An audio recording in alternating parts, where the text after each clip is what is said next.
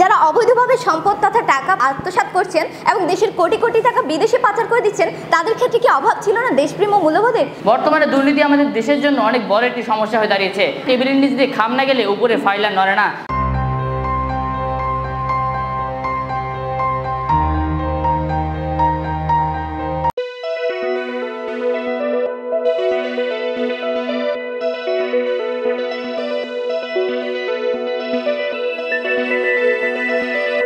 আজকের এই প্রতিযোগিতায় উপস্থিত মাননীয় মডারেটর বিজ্ঞ বিচারক মণ্ডলী, প্রতিপক্ষ বন্ধুগণ এবং সবাইকে জানাই আমার আন্তরিক শুভেচ্ছা ও সালাম। মাননীয় মডারেটর আমি প্রথমে এর সংজ্ঞায়ন করছি। রাষ্ট্র কি? রাষ্ট্র একটি রাজনৈতিক প্রতিষ্ঠান যা কোনো একটি ভৌগোলিক এলাকা ও সংশ্লিষ্ট জনগণকে নিয়ন্ত্রণ করার সার্বভৌম ক্ষমতা রাখে। উন্নয়ন কি? উন্নয়ন হলো কোনো কিছুর কাঙ্ক্ষিত পরিবর্তন। দুর্নীতি কি? সাধারণ অর্থে দুর্নীতি বলতে বোঝায় নীতি বিরোধী কাজ করাকে। অন্তরায় কি? অন্তরায় বলতে বোঝায় বাধা। মাননীয় মডারেটর আমরা এমন একটি দেশে বসবাস করছি যেখানে আন্তর্জাতিক ব্যবসার আড়ালে প্রতি বছর অর্থ পাচার হয়, যার ধারণা দিয়েছে জিএফআই জিএফআই এর একটি প্রতিবেদন দেখা যায়, গত ছয় বছরে দেশের চার লক্ষ ছত্রিশ হাজার কোটি টাকা পাচার হয়েছে। এর মধ্যে দুই হাজার পনেরো সালে পাচার হয়েছে এক লক্ষ কোটি টাকার বেশি, যার বৈদেশিক বাণিজ্যের আঠারো শতাংশ হয়েছিল মিথ্যে। এভাবে যদি অর্থ পাচার হয়, তাহলে দেশ কীভাবে উন্নতি করবে? প্রশ্ন রয়ে গেল প্রতিপক্ষ বন্ধুদের কাছে, আশা করি উত্তর দিয়ে যাবেন। মাননীয় মডারেটর এক পরিসংখ্যায় দেখা যায়, গত পঁয়ত্রিশ বছরের ইতিহাসে বাংলাদেশ পরপর পাঁচবার বিশ্ববাসীর নজর পেয়েছে শুধুমাত্র দুর্নীতির জন্য। টিআই কর্তৃক প্রকাশিত রিপোর্টে দুই এক থেকে দু পাঁচ, এই পাঁচ বছরে বাংলাদেশ ছিল দুর্নীতিবাদ দেশের তালিকায় শীর্ষে। মাননীয় মডারেটর সম্প্রতি খাদ্য অধিদপ্তরের বিরুদ্ধে ত্রাণ আত্মসাতের একটি অভিযোগ করা হয়, যেখানে সরকারের একশো আশি কোটি টাকার ক্ষতি হয়, যার প্রমাণ পেয়েছে দুদক। এখানে কি দেশের উন্নয়নে দুর্নীতি বাধাগ্রস্ত করছে না? প্রশ্ন রয়ে গেল প্রত্যেক বন্ধুর কাছে, আশা করি উত্তরটি দিয়ে যাও, উত্তরটি দিয়ে যাবেন। মহামান্য রাষ্ট্রপতি বলেছেন, দেশের উন্নয়ন বাধাগ্রস্ত হচ্ছে দুর্নীতির ফলে। তাহলে কি আমরা রাষ্ট্রপতি কথা মানবো না? এছাড়া খাদ্য অধিদপ্তরের উপখাদ্য পরিদর্শক পদের নিয়োগ পরীক্ষায় প্রশ্ন ভাষে অনেক শিক্ষার্থীর জীবন নষ্ট হয়ে যায়। যার সত্যতা পেয়েছে দুদক। এভাবে যদি চলতে থাকে, তাহলে দেশ কীভাবে শিক্ষিত জনগোষ্ঠী গড়ে তুলবে? কীভাবে দেশ উন্নতি করবে? আশা করি প্রতিপক্ষ বন্ধুগণ প্রশ্নের উত্তর দিয়ে যাবেন। মাননীয় মডারেটর করোনা মহামারীতে সরকারে এক হাজার ছয়শো বিরাশি টাকা ক্ষতি হয় পঞ্চাশ জন জনপ্রতিনিধির জন্য, যা সরকার পেয়ে তান আত্মসাত করেছিল। তাছাড়া জাতীয় রহস্য বোর্ডের চেয়ারম্যান নজিবুর রহমান একটি পরিসংখ্যানে বলেছেন রপ্তানিকারকদের দেওয়া বন্ডেজ ওয়ার হাউস সুবিধার অপব্যবহারের মাধ্যমে বছরে আটান্ন হাজার কোটি রহস্য ফাঁকি দেওয়া হচ্ছে, যা ঠেকানো গেলে আমাদের মাননীয় প্রধানমন্ত্রী শেখ হাসিনা দুইটি পদ্মা সেতু নির্মাণ করতে পারতেন। মাননীয় মডারেটর দুর্নীতি দেশের উন্নয়নের পথে প্রধান অন্তরায় বলেই দুদকের সাবেক চেয়ারম্যান বলেছেন, দুদক নখ দ্বন্দ্বহীন বাঘের মতো। লক্ষ্য করি সং দুদকই যখন এ কথা বলেছেন, তখন কিন্তু এটি বোঝাই যায় বর্তমানে দুর্নীতির ব্যাপকতা কোটা প্রকট আকার ধারণ করেছে। অর্থাৎ এটি উন্নয়নের পথে একটি বিরাট বাধা। ট্রান্সপারেন্সি ইন্টারন্যাশনালের মতে corruption is a major cost of property it diverts resources away from development projects increase the cost of doing business অর্থাৎ, এ দ্বারা এটি পরিষ্কার বোঝা যাচ্ছে যে দুর্নীতি দেশের উন্নয়নের পক্ষে প্রধান বাধা হয়ে দাঁড়িয়েছে। ধন্যবাদ মাননীয় মডারেটর ধন্যবাদ সবাইকে। মাননীয় সভাপতি বিজ্ঞ বিচারক মণ্ডলী, শ্রদ্ধেয় শিক্ষকবৃন্দ, বিতার্কিক বন্ধুরা এবং উপস্থিত ছোট বড় ভাই বোনেরা, সকলকে জানাচ্ছি সাদর সম্ভাষণ। আজকের বিতর্কের বিষয় যে কোনো রাষ্ট্রের উন্নতির পথে দুর্নীতি প্রধান অন্তরায়। অত্যন্ত যুক্তিসঙ্গত ও বাস্তবতার বিচারে এই বিষয়ের বিপক্ষে আমার অবস্থান। ধন্যবাদ মাননীয় মডারেটর আমাকে কিছু বলার সুযোগ করে দেওয়ার জন্য। মাননীয় মডারেটর আজকের বিতর্কের বিষয়কে আমরা তিনটি ভাগে ভাগ করতে পারি। রাষ্ট্র উন্নতি, দুর্নীতি, প্রধান অন্তরায়। অ্যারিস্টোটলের মতে স্বয়ং সম্পূর্ণ জীবনের জন্য কতিপয় পরিবার ও গ্রামের সমন্বয়ে সংগঠিত একটি সংগঠনই রাষ্ট্র। উন্নতি হলো কোনো কিছুর ইতিবাচক পরিবর্তন বা উত্তরণ।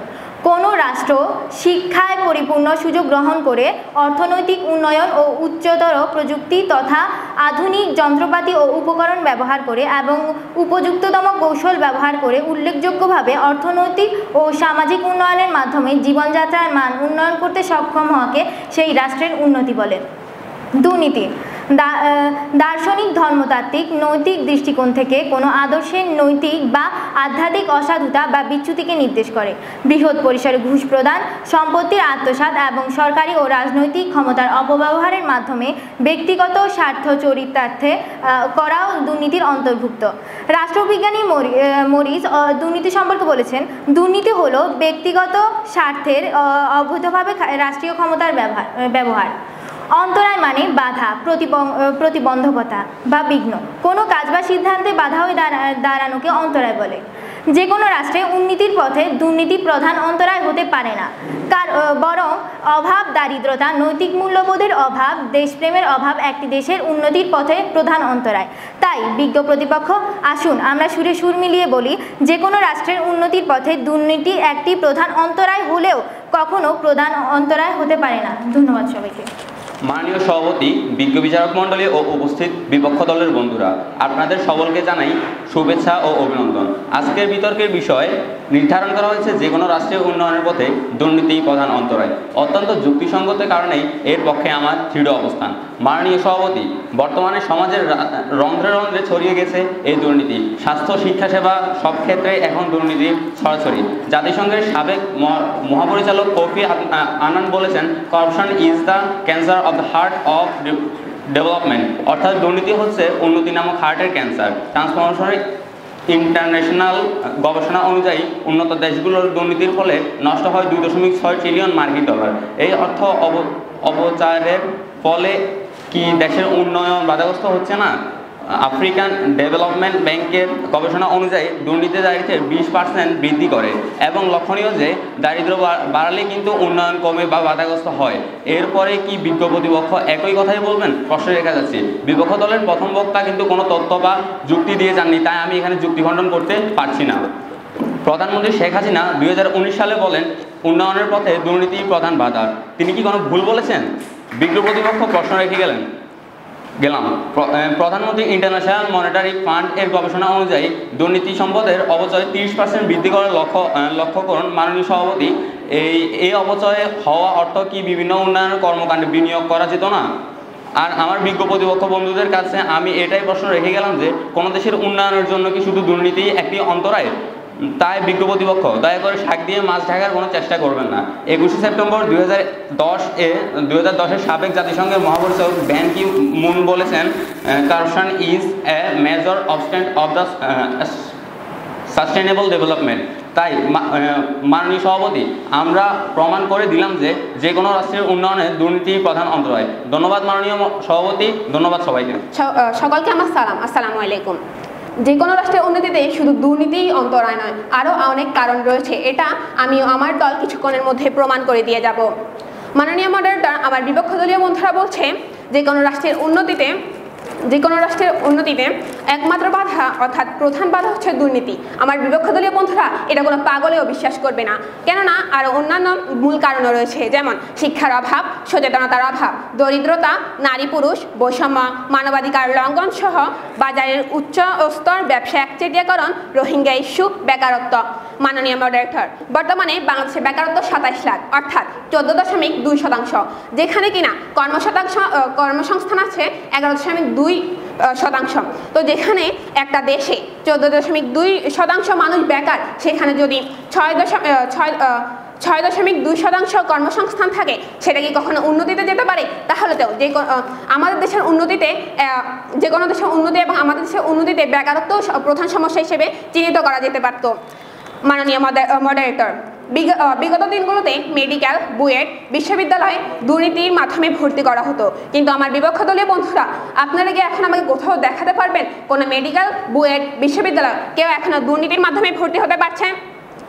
আর দুর্নীতি যদি প্রধান সমস্যা হয়ে থাকে, তাহলে টিআইয়ের রিপোর্ট অনুযায়ী বাংলাদেশ দু হাজার তিন সালে দুর্নীতিতে ছিল তৃতীয়, যা বর্তমানে তেরোতম। তাহলে তো দেখা যায় বাংলাদেশ দু হাজার তিন সালের তুলনায় এখন বাংলাদেশ তেরোতমে সে বসেছে অর্থাৎ অনেক কমে গিয়েছে। তাহলে একটা দেশের উন্নতিতে কীভাবে প্রধান প্রধান সমস্যা দুর্নীতি হতে পারে? মাননীয় মডারেটর এখন বলতে চাই ভারতীয় অর্থনীতিবিদ অমর, অমর্ত্য সেন বলেন কিছু কিছু ক্ষেত্রে বাংলাদেশ বাংলাদেশ বিশ্বকে চমকে দেওয়ার মতো সাফল্য এনেছে। তাছাড়া বাংলাদেশকে উদীয়মান এগারো হিসেবে অভিহিত করা হয়েছে তাছাড়া যেখান যখন এককালে তলা কোনো কোনো দেশ বাংলাদেশকে তলাবিহীন ঝুড়ি বলেছে, তা দু হাজার পঁয়ত্রিশ সালের মধ্যে হতে যাচ্ছে পঁচিশতম বৃহৎ অর্থনীতির দেশ। তাহলে কি যে শেখ হাসিনা শেখ প্রধানমন্ত্রী শেখ হাসিনা বলেছে, বাংলাদেশ উন্নত উন্নত রাষ্ট্রে পরিণত হয়েছে। তাহলে ভারতীয় অর্থনীতি, অর্থনীতিবিদ অমর্ত্য সেন, শেখ হাসিনা, তারপর অন্যান্য দেশের অর্থনীতিবিদরা কি এই কথাগুলো মিথ্যা বলেছেন যে বাংলাদেশ উন্নতি, উন্নত রাষ্ট্র হিসেবে পরিণত হতে পারেনি? এখন আমি এটাই বলতে চাই যে, আমার বিপক্ষ দলীয় বন্ধুরা, হায়রে কপাল মন্দ, চোখ থাকিতে অন্ধ। আমরা এটা বলছি না, দুর্নীতি এটা কারণ নয়। আমরা এটা বলতে যাচ্ছি, দুর্নীতি একটা কারণ, কিন্তু মূল বা প্রধান কারণ নয়। এর এর মধ্যে রয়েছে বাজার উচ্চস্তর, যেটাও একটা প্রধান কারণ হতে পারে বা একটি দেশের উন্নয়নে বাধা হতে পারে। তাছাড়া রয়েছে রোহিঙ্গা ইস্যু তার দরিদ্রতা, জলবায়ু পরিবর্তন। তাছাড়া জলবায়ু পরিবর্তনে বাংলাদেশ সিডর আইলাফনি সহ নানান ঘূর্ণিঝড় এসেছিল। জাতীয় বাংলাদেশ জাতীয় বাংলাদেশ লণ্ডভণ্ড হয়েছে। তাছাড়া করোনাকালীন সময় যখন করোনায় বাংলাদেশে পঁচিশ হাজারের মতো মানুষ মরেছে, তখনও তো উন্ন- উন্নয়ন থেমে গিয়েছিল। তখন কি এটা দুর্নীতি ছিল? আমার তো মনে হয় না। তো এত কিছু বলার পরেও আপনারা যদি জেগে জেগে ঘুমিয়ে থাকেন, তাহলে আমার কিছু করার নেই। কেননা, আমি কোনো জাগ- জেগে থাকা মানুষকে জেগে রাখতে, জাগিয়ে তুলতে পারি না। ধন্যবাদ মাননীয় মডারেটর ধন্যবাদ সবাইকে। বিজ্ঞ বিচারক মণ্ডলী বিপক্ষ দলের বিতর্কী বন্ধুরা ও যারা শুনছেন, সকলকে জানাই আমার শুভেচ্ছা ও সালাম। আজকে আমাদের বিতর্কের বিষয় নির্ধারণ করা হয়েছে যে কোনো রাষ্ট্রের উন্নয়নের পথে দুর্নীতিই প্রধান অন্তরায়। এর পক্ষে আমাদের দৃঢ় অবস্থান। মাননীয় সভাপতি, উন্নয়ন অর্থ, অর্থনৈতিক প্রবৃদ্ধি ঘটিয়ে দেশ তথা জাতিকে আধুনিকায়নের দিকে এগিয়ে নিয়ে যাওয়া ও দেশের সঞ্চয়, বিনিয়োগ, উৎপাদন এবং জাতীয় আয় বৃদ্ধি নিশ্চিত করা। মাননীয় সভাপতি আমরা যদি একটু নাইজেরিয়ার দিকে লক্ষ্য করি, সাম্প্রতিক একটি স্টাডি অনুযায়ী দুর্নীতির কারণে সেখানে প্রতি বছর দেড়শো বিলিয়ন ডলার খরচ হচ্ছে। এই টাকা কিন্তু শিক্ষা, স্বাস্থ্য অথবা অন্যান্য সেবা খাতে বিনিয়োগ করা যেত, তবে তা সম্ভব হচ্ছে না এই দুর্নীতিরই কারণে। উদাহরণস্বরূপ দু হাজার আঠারো সালে ট্রান্সপারেন্সি ইন্টারন্যাশনাল রিপোর্ট অনুযায়ী নাইজেরিয়া বিশ্বের সবচেয়ে দুর্নীতিগ্রস্ত দেশগুলোর মধ্যে ছত্রিশতম, এবং সেখানে উন্নয়নের মাত্রাও কম। তাহলে কি আমরা বলতে পারি না যে দুর্নীতি দেশের উন্নয়নের পথে প্রধান বাধা? যুক্তরাষ্ট্রভিত্তিক গবেষণা প্রতিষ্ঠান গ্লোবাল ফাইন্যান্সিয়াল ইন্টিগ্রিটির এক প্রতিবেদন প্রতিবেদনের তথ্য অনুযায়ী, গত ছয় বছরে দেশের চার লক্ষ ছত্রিশ হাজার কোটি টাকা বিদেশে পাচার হয়েছে। এই হিসেবে গড়ে প্রতি বছর পাচার হচ্ছে তিয়াত্তর হাজার কোটি টাকা। এভাবে যদি অর্থ পাচার হয়, তবে দেশ কীভাবে অর্থনৈতিক উন্নয়ন করতে পারবে? প্রশ্ন রেখে যাচ্ছি। দয়া করে উত্তর দিয়ে যাবেন। বিপক্ষ দলের দ্বিতীয় বক্তা বলে গেলেন, বেকারত্বকে আমরা নাকি প্রধান কারণ বলব। যেখানে একটি দেশের প্রধানমন্ত্রী ও রাষ্ট্রপতি এক কথা বলেছেন, বলছেন, তখন আমরা কীভাবে এর বিরুদ্ধে বলব? তারা বলেছেন, বর্তমানে বাংলাদেশ বারোতম অবস্থানে আছেন বিজ্ঞ প্রতিপক্ষ কি এতেই খুশি? ওয়ার্ল্ড ব্যাংকের মতে corruption is the barrier to economic growth and poverty reduction অর্থাৎ অর্থনৈতিক উন্নয়ন ও দারিদ্র্য বিমোচনে দুর্নীতি সবচেয়ে বড় অন্তরায়। এখনও কি বিজ্ঞ প্রতিপক্ষ একই কথা বলবেন? যে দুর্নীতি রাষ্ট্রের উন্নয়নের পথে প্রধান বাধা নয়? তাই আসুন, হাতে হাত মিলিয়ে একসাথে বলি, ফের কখনো দুর্নীতিতে হব না চ্যাম্পিয়ন, তবেই হবে দেশ ও দশের উন্নয়ন। ধন্যবাদ মাননীয় মডারেটর ধন্যবাদ সবাইকে। আজ একটি ছোট্ট গল্প বলব মাননীয় মডারেটর জামিলা। জামিলা হলো জয়নাল ও রাহেলা বেগমের মেয়ে। পড়ালেখা জামিলা বেশ ভালো। প্রতিবারই সেরা দশ স্থান পায় তার স্কুলে। কিন্তু হঠাৎ একদিন তার বাবা মায়ের কাছে একটি প্রস্তাব এলো। পঞ্চাশ হাজার টাকার বিনিময়ে জামিলাকে বিয়ে দিতে। কুড়ে ঘর বর্ষা এলে বৃষ্টি ঝরে। এই অবস্থা জামিলার ঘরের। নিজেদের প্রয়োজন ও টাকার লোভ সামলাতে না পেরে জয়নাল মিয়া ও রাহেলা বেগম তার মেয়ের বিয়ে ঠিক করে। স্কুল থেকে ফেরা ক্লান্ত জামিলাকে তারা জানায়, আজ সন্ধ্যায় তার বিয়ে। জামিলার আকুতি আম্মা বিয়া দিও না। আমি কি পড়ালেখা ফাঁকি দেই। রেজাল্ট কি আমার অনেক খারাপ আম্মা, তুমি আমার লাগে এটা কইরো না। জামিলার মা কোনো কথা শুনতে চান না। তার কথা, হন মা, মায়া করে তো পড়ালেখা সাজে না। হে তুই পড়ালেখা কর আর না কর। তোরে তো বিয়া করতে হইব। তাই এখন চুপচাপ করে ঘরে বই থাক। বাবার কাছে জামিলার বিয়ে বন্ধের কথা বললে বাবাও সে একই সুর টানলেন বড় হইলে যে তুই কিছু করতে পারবি, তার কোনো গ্যারান্টি নাই। তাই মেয়েটা মাইনা নেই আর একদিন তো যাইতেই হইব। তার উপর যৌতুক দেওয়া লাগতো না। উল্টো তারা দিব। ঘর দরের অবস্থা তো জানো, সীমা। আর যদি জামিলার অভাব না থাকতো, তাহলে জামিলার মতো চোদ্দ পনেরো বছরের একটি মেয়েকে কথা বাল্য বিবাহ দেওয়া হতো না মানে মার্ডার তাহলে আমার প্রতিপক্ষ ভুলে যাচ্ছে। এই অভাবের কারণে আমরা জাস্ট কোথায় আছি তা আমরা দেখছি না। আচ্ছা প্রতিপক্ষ, আপনারা বরাবরই দুর্নীতিকে দায়ী করে যাচ্ছেন। তাহলে বলি, একটি উন্নয়নশীল দেশের দেশ হতে হলে প্রথম শর্ত দারিদ্র বিমোচন। আপনারা কি তা অস্বীকার করতে পারবেন? অবশ্যই না। দারিদ্র যদি বিমোচনই না হয়, তাহলে দুর্নীতি কীভাবে হ্রাস পাবে? যদি আমরা দারিদ্র বিমোচন না করতে পারি, তাহলে আমরা কখনোই একটি উন্নয়নশীল দেশের আশা করতে পারব না, মাননীয় মরাটর। আমার প্রতিপক্ষ দলের দ্বিতীয় বক্তা দু বলে গেছে, দুর্নীতি যদি দুর্নীতির প্রধান কারণ যে কোনো দেশে উন্নতির পথে দুর্নীতি প্রধান কারণ। আমি তাকে বলব, তাহলে যদি দুর্নীতি প্রধান কারণ হয় উন্নয়নশীল দেশ হতে দারিদ্রতা বিমোচন প্রথম শর্ত হতে পারে না। মাননীয় মডারেটর একটু খেয়াল করবেন। উনিশশো উনচল্লিশ সাল থেকে উনিশশো পঁয়তাল্লিশ সালে এই ছয় বছর দ্বিতীয় বিশ্বযুদ্ধের সময়কাল। তেল বাণিজ্যের উপর নিষেধাজ্ঞা এবং দেশের টালমাটাল অবস্থা জাপানকে আমেরিকা আক্রমণে উদ্বুদ্ধ করেছিল। মূলত ওয়াসা, নাগানো, ইসারকা ইয়ামামোতাওর ম- তত্ত্বাবধানে জাপান হাওয়াইয়ে আমেরিকার নৌঘাটিতে আক্রমণ করে। আমেরিকা ও মিত্রশক্তির মিত্রশক্তির হাত ধরে দ্বিতীয় বিশ্বযুদ্ধে পা রাখে। আচ্ছা আর যদি জাপান তাদেরকে আক্রমণ নাই করতো, তাহলে কিন্তু এই বিশ্বযুদ্ধ হতো না। এই বিশ্বযুদ্ধের পরে কি দেখা, দেখতে পেয়েছি আমরা? দেখতে পেয়েছি জাপানের দু হাজারেরও বেশি মা বোনকে নৃশংসভাবে অত্যাচার করা হয়েছে। এরপর জাপান সিদ্ধান্ত নেয়, আর নয় সংঘাত। এবার হোক শান্তি। আজ দেখুন সেই জাপানি শান্তির রোল মডেল আজ সব জায়গায় বলে, আমরা জাপানের মতো হতে চাই, শান্তি শৃঙ্খলা ওভাবেই প্রতিষ্ঠা করতে চাই। মাননীয় মডারেটর দারিদ্রতার দিক থেকেও কিন্তু জাপানকে দেখা যেত। এক সময় জাপান, জাপানকে আমেরিকার সমতুল্য মনে করা হতো। মনে করা হতো আমেরিকাকে টপকে যাবে জাপান। কিন্তু হঠাৎ দারিদ্রতা তাদেরকে আপচে ধরে, যার কারণে তারা আবার পিছিয়ে যায়। কিন্তু তাতে কি? উন্নয়নের ধারা বজায় রেখে তারা চলে আসে আবারও। মাননীয় মডারেটর এই যে জামিলার কথা বললাম, এই ধরনের কত শত মেধাবী মেয়ে ঝরে পড়ছে, যা আমাদের উইকিপিডিয়ার মতে বাংলাদেশের একান্ন শতাংশ মেয়েকে বাল্যবিবাহ দেওয়া হয়।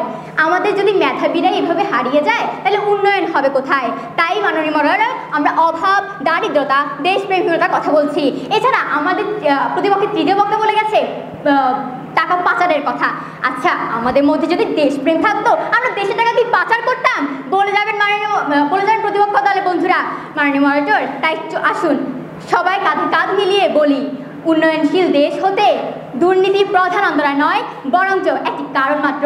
প্রধান অন্তরায় সমূহের মধ্যে রয়েছে অভাব, দারিদ্রতা, শিক্ষার শিক্ষার ব্যবস্থার নিম্নশীল শিক্ষার ব্যবস্থার অপব্যবহার কিংবা দুর্নীতি নৈতিকতার অপব্যবহার ধর্মীয় মূল্যবোধের অবক্ষয়। ধন্যবাদ মানি ধন্যবাদ সকলকে। মাননীয় সভাপতি, বিজ্ঞ বিচারক মন্ডলী, উপস্থিত সকলকে শুভেচ্ছা নিয়ে আজকে আমি আমার বক্তব্য শুরু করছি। বিতর্ক চলছে এবং আজকের বিতর্কের বিষয় নির্ধারণ করা হয়েছে যে কোনো রাষ্ট্রের উন্নয়নের পথে দুর্নীতি প্রধান অন্তরায়। বর্তমানে দুর্নীতি আমাদের দেশের জন্য অনেক বড় একটি সমস্যা হয়ে দাঁড়িয়েছে। মাননীয় সভাপতি, বর্তমানে টেবিলের নিচ দিয়ে খাম না গেলে উপরে ফাইলার নড়ে না। মাননীয় সভাপতি, আগে বলা হতো সৎ সঙ্গে স্বর্গবাস, অসৎ সঙ্গে সর্বনাশ। কিন্তু কিন্তু বর্তমানে যারা দুর্নীতিবাজদের সঙ্গে থাকেন, তারা কিন্তু আর্থিকভাবে লাভবান হচ্ছেন। যার ফলে প্রপার্টি বদলে গিয়ে এখন এমন হয়েছে যে সৎসঙ্গে সর্বনাশ, অসৎ সঙ্গে স্বর্গবাস সভাপতি আমরা যদি সোমালিয়ার দিকে লক্ষ্য করি, সেখানে দুর্নীতির হার সবচেয়ে বেশি। সেখানে উন্নয়নের হারও কিন্তু সবচেয়ে কম। ওয়ার্ল্ড ব্যাংকের তথ্যানুসারে সোমালিয়ার জিডিপি গ্রোথ মাত্র টু পয়েন্ট এইট পার্সেন্ট যেখানে বাংলাদেশের GDP growth seven point two percent অর্থাৎ এ থেকে আমরা কি এটি বুঝতে পারি না যে যেখানে যেখানে দুর্নীতি বেশি, সেখানে উন্নয়ন বাধাগ্রস্ত হচ্ছে। বিপক্ষ দলের তৃতীয় বক্তা বলে গেলেন তারা চেষ্টা করলেন বাল্যবিবাহকে একটি বড় কারণ হিসেবে আখ্যা দিতে। উইকিপিডিয়া অনুযায়ী নীতিবিরুদ্ধ কাজকে দুর্নীতি বলা হয়। আর বাল্যবিবাহ একটি নীতিবিরুদ্ধ কাজ। আমরা কি এটিকে একটি নীতিবিরুদ্ধ কাজ বা দুর্নীতি বলতে পারি না? তারা দারিদ্রের কথা বলেছেন। মাননীয় প্রধানমন্ত্রী কি বলেননি? আমরা দারিদ্রকে দেশ থেকে বিলুপ্ত করতে সক্ষম হয়েছি। তাছাড়া তারা বলেছেন, দেশে টাকা অভাবে কথা তারা বলেছেন যে, দেশে যদি টাকা নাই থাকে, তাহলে আমরা কীভাবে করে সেটি পাচার করব? এই ধরনের অনেক কথা তারা বলেছেন। এটাকে আমরা এভাবে ব্যাখ্যা করতে পারি যে, দেশে যে টাকা নেই, এর কারণটা আসলে কি? এর কারণ কিন্তু দুর্নীতি। দুর্নীতির ফলে দেশ থেকে প্রথম প্রথম দিকে অনেকটা টাকা, অনেক টাকা বিদেশে পাচার হয়ে যায়। যার ফলে যার ফলে আমরা দেখতে পাচ্ছি দেশের টাকা কমে যায়, যার ফলে আমরা বলতে পারি যে, দুর্নীতি কিন্তু দেশের উন্নয়নের পথে সবচেয়ে বড় বাধা। ট্রান্সপারেন্সি ইন্টারন্যাশনাল একটি রিপোর্ট অনুযায়ী, শুধুমাত্র দুর্নীতির কারণে দেশ থেকে পঞ্চান্ন শতাংশ টাকা কিন্তু পাচার হয়ে থাকে। জাম্বিয়ার অর্থনীতিবিদ ডাম্বিসো মেয়ে বলেছিলেন corruption is the main cause of under development Mo ইব্রাহিমের দু হাজার তেরো সালে একটি সেমিনারে তিনি বলেন corruption is the main obstacle at the way of development Robert কিলগার্ডের the political economy of corruption নামক বইয়ে লেখক বলেছেন, দুর্নীতি উন্নয়নের পথে সবচেয়ে বড় কথা বিখ্যাত অর্থনীতিবিদ জেফ্রি স্যাক্স বলেছেন corruption is the greatest threat to economical and social development এ থেকে প্রমাণিত কি হয় না যে দুর্নীতি উন্নয়নের পথে সবচেয়ে বড় বাধা?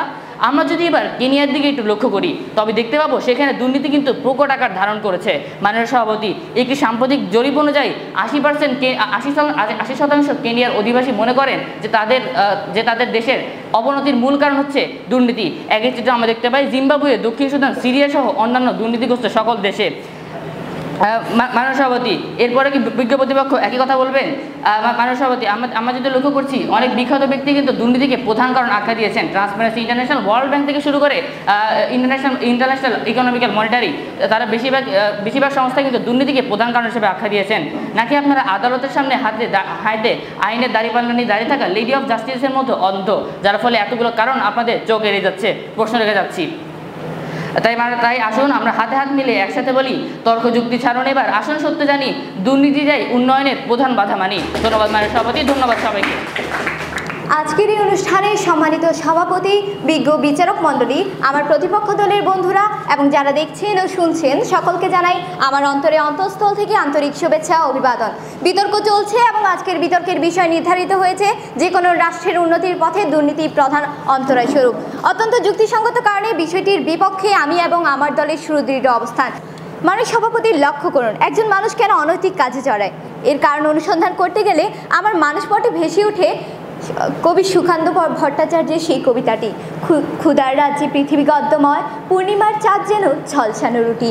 হ্যাঁ অন্নতৃপ্ত মানুষের মন সৌন্দর্য প্রেম ও সৌন্দর্যের মধুর কাব্যসুদায় শিখতে হয়। কিন্তু যে মানুষের ক্ষুদায় অন্ন জোটে না জঠরাগ্নি যার নিবৃত্ত হয়নি, জীবনের ন্যূনতম প্রয়োজনটুকু যার জীবনে অস্বীকৃত, সৌন্দর্য তার কাছে কোনো তাৎপর্যই বহন করে না। জীবনে ক্ষুদায় যখন সর্বপ্রেক্ষা প্রবল হয়ে দেখা দেয়, তখন জীবনে একমাত্র লক্ষ্য হয়ে দাঁড়ায় ক্ষুনিবৃত্তি আর ফলে মানুষ জড়িয়ে পড়ে অনৈতিক কার্যক্রমে। মানে সভাপতি লক্ষ্য করুন, আমাদের দুর্নীতিতে অনুপ্রবেশ ঘটে কিন্তু অভাবের মাধ্যমে। মানে সভাপতি prevention is better than cure.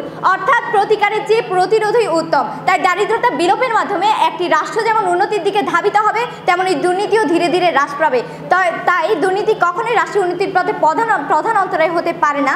মানে সভাপতি লক্ষ্য করুন, ট্যাক্স ইউনিয়ন অভিষ্ট তথা সাস্টেনেবল ডেভেলপমেন্ট গোলস অর্জনের লক্ষ্যমাত্রা মোট সতেরোটি। যেখানে বলাই হয়েছে ট্যাক্স ইউনিয়ন লক্ষ্য ট্যাক্স পথে সবচেয়ে বড় চ্যালেঞ্জ হলো সম্পদের অসম বন্টন বৈষম্য দারিদ্রতা।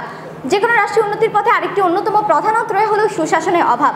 একটি দেশ, একটি দেশের শক্তিশালী ও কার্যকর সুশাসন ব্যবস্থার উপর দেশের সত্যিকারের উন্নয়ন নির্ভর করে। যদি কোনো রাষ্ট্রে আইনি সুশাসনের ব্যবস্থা থাকে, তাহলে দুর্নীতির তো কোনো প্রশ্নই উঠছে না। এক্ষেত্রে আপনার কি বলবেন? বিজ্ঞ প্রতিপক্ষ, উন্নত বিশ্বের সুশাসন বিদ্যমান থাকায় তারা সহজে উন্নতি লাভ করতে পারছে। অপরদিকে, তৃতীয় বিশ্বের দেশগুলোতে সুশাসনের অভাব থাকায় উন্নতির ক্ষেত্রে তারা পিছিয়ে আছে। এর মাঝে ব্যতিক্রম হলো মালয়েশিয়া ও দক্ষিণ কোরিয়া। এ সকল দেশে আইনি সুশাসন বিদ্যমান, ফলে তারা উন্নতির পথে ক্রমশ এগিয়ে যাচ্ছে। সূত্র দিগন্ত চব্বিশে জুন দু হাজার তেইশ। এছাড়া মাননীয় সভাপতি দেশপ্রেম ও মূল্যবোধের অবক্ষয় যে কোনো রাষ্ট্রের উন্নতির পথে প্রধান অন্তরায় স্বরূপ একজন মানুষ যদি সত্যিকারের সত্যিকার অর্থে দেশপ্রেমিক ও মূল্যবোধ সম্পন্ন হয়, তবে তার দ্বারা কখনোই দুর্নীতির মতো গর্হিত কাজ করা সম্ভব নয়। কারণ একজন দেশপ্রেমিক সবসময় দেশের উন্নয়ন সাধনে সদা তৎপর থাকেন। তাই দেশের সামগ্রিক উন্নতির জন্য দেশপ্রেম ও মূল্যবোধের মূল্যবোধের বিকাশ অত্যন্ত জরুরি। বিজ্ঞ প্রতিপক্ষের দলনেতা বলে গেলেন, টাকা পাচারের কথা। যারা অবৈধভাবে সম্পদ তথা টাকা আত্মসাত করছেন এবং দেশের কোটি কোটি টাকা বিদেশে পাচার করে দিচ্ছেন, তাদের ক্ষেত্রে কি অভাব ছিল না? দেশপ্রেম ও মূল্যবোধের প্রশ্ন রয়ে গেল বিজ্ঞ প্রতিপক্ষের কাছে। সে রাষ্ট্রে আইনের সুশাসনের অভাব ছিল বিধায় এমন গর্হিত কাজ করার সাহস তারা পেয়েছে। এত যুক্তি ও বিতর্কের মাধ্যমে আমরা আসলে কি বোঝাতে চেয়েছি? আমরা বোঝাতে চেয়েছি, রাষ্ট্রের উন্নতির পথে দুর্নীতি একটি অন্তরায় হলেও তা কখনো প্রধান অন্তরায় হতে পারে না। এর আরও গভীরে রয়েছে প্রধান অন্তরায় সমূহ মানে আমার সভাপতি, এখন আমি যুক্তিখণ্ডের পর্বে চলে যাচ্ছি। মানে সভাপতি, আমি শুরুতেই বিপক্ষ দলের চারজন বক্তাকে আন্তরিক অভিনন্দন জানাই, কারণ আপনারা ইতিমধ্যেই প্রমাণ করে দিয়েছেন ইতিমধ্যে প্রমাণ করে দিয়েছেন, সুন্দর সুন্দর কথা বলে বিতর্কে মঞ্চে শ্রুতি মাধুর্যতা বৃদ্ধি করা যায়, কিন্তু নিজেদের যুক্তিহীন যুক্তির যৌক্তিকতা প্রমাণ করা যায় না। মানে সভাপতি এই পর্যায়ে বিতর্কে খাতিরে আমার প্রতিপক্ষ দলের চার বক্তা, না তাদের পক্ষে কোনো যথাপযুক্ত যুক্তি উপস্থাপন করতে পেরেছেন, না আমাদের আমাদের দলীয় অবস্থানের দুর্বলতা প্রমাণ করতে পেরেছেন? বিপক্ষ দলের বন্ধুদের দৃষ্টি আকর্ষণ করে বলছি, বাস্তবার বাস্তবতার প্রেক্ষাপটে সত্যি এটি দুর্নীতি রাষ্ট্রের উন্নয়নের পথে একটি অন্তরায় হলেও তা কখনো প্রধান অন্তরায় হতে পারে না। মানে সভাপতি, আপনি লক্ষ্য করলে দেখতে পাবেন, এক্ষেত্রে তাদের দেখানো দুর্নীতি হলো আমাদের দেখিয়ে যাওয়া দারিদ্রতা, নৈতিক অবক্ষয় তথা লোভ, দেশপ্রেমের অভাব এবং সুশাসনের অভাবের ফলাফল। অর্থাৎ যদি আমরা এগুলো নিরসন করতে পারি, তাহলে আমাদের দুর্নীতি নিজে থেকেই কমে আসবে। তাই তাই অর্থাৎ পরোক্ষভাবে আমাদের বিপক্ষ দলের বন্ধুরা আমাদেরকে সমর্থন করে গিয়েছেন। তাদের দুর্নীতি নিয়ে পুঁথিপাঠ শুনে আমার মনে হচ্ছে রাষ্ট্রের উন্নয়ন বাধাগ্রস্ত করতে শুধুমাত্র দুর্নীতিই দায়ী। আসলে সত্যি কথা বলতে কি বিজ্ঞ প্রতিপক্ষ প্রতিপক্ষ যে ব্যক্তি জেগে জেগে ঘুমায় তাকে কখনোই জাগানো যায় না। সে অপেক্ষা কুম্ভকর্ণের নিদ্রায় শ্রেয়। কারণ তার ঢোল কাশি বাজিয়ে হলেও তাকে জাগানো যায়। তাই তাই বলছি, জেগে জেগে ঘুমিয়ে না থেকে আসুন আমাদের সাথে সুরে সুর মিলিয়ে, তালে তাল মিলিয়ে বলুন, যে কোনো রাষ্ট্রের উন্নতির পথে দুর্নীতি একটি অন্তরণের মাত্র, প্রধান কারণ হতে পারে না, এর মূল্যে রয়েছে অন্যান্য প্রতিবন্ধকতা। ধন্যবাদ মাননীয় সভাপতি, ধন্যবাদ সবাইকে। আমি যতটুকু দেখেছি, প্রত্যেকেই সর্বোচ্চ দিয়ে বলার চেষ্টা করছে। নো ডাউট তোমাদের বয়সে ওই সময় অনেক দেখছি সেম আজকের এই প্রতিযোগিতা একটা ইন্টার মেরিটেরিয়ার ছেড়ে দিলে হয়তো সে এই জিনিসটা সে প্রেজেন্টেশন করতে পারবে না এক্সপ্লেন করতে পারবে না, তার বাচনভঙ্গি ঠিক থাকবে না। এটা আলাদা একটা স্কিল আলাদা একটা যোগ্যতা। তো পাশাপাশি এই যোগ্যতার পাশাপাশি এটা মাথায় রাখবা, সবাই ভালো করে টার্গেট ভিশন করি, জ্ঞান অর্জনের টার্গেট করি, লেখাপড়া করবা। এইটুকু আমার অনুরোধ। সবার জন্য শুভকামনা ভালো ডিবেটিংটা তোমাদের করতে হবে এই জন্যই কিন্তু এই আয়োজনটা ঠিক আছে? দুর্নীতি অনেক বড় একটা ইস্যু তোমরা এখন অনেক ছোট বড় হতে হতে তোমরা বুঝবা। ডিবেটিংটা প্রত্যেক স্কুলে যদি চালু করা হয় আমার মনে হয় এটা একটা বেস্ট কারিকুলাম হবে। তো টিচারদেরকেও আমি বলব আপনারা যদি পারেন ডিবেটিংটা স্কুলে চালু করবেন। তো তোমাদের দুই পক্ষের জন্য অনেক শুভকামনা। আজকে আমাদের এই প্রতিযোগিতায় রানার্স আপ হয়েছে রামগড় সরকারি উচ্চ বিদ্যালয়। তাদের প্রাপ্ত নম্বর দুশো এবং চ্যাম্পিয়ন হয়েছে রামগড় বালিকা উচ্চ বিদ্যালয়। তাদের প্রাপ্ত নম্বর দুইশত ছিচল্লিশ, টু ফোর সিক্স। এবং, শ্রেষ্ঠ বক্তা হয়েছে হুমায়রা রশিদ আখি, রামগড় বালিকা উচ্চ বিদ্যালয়।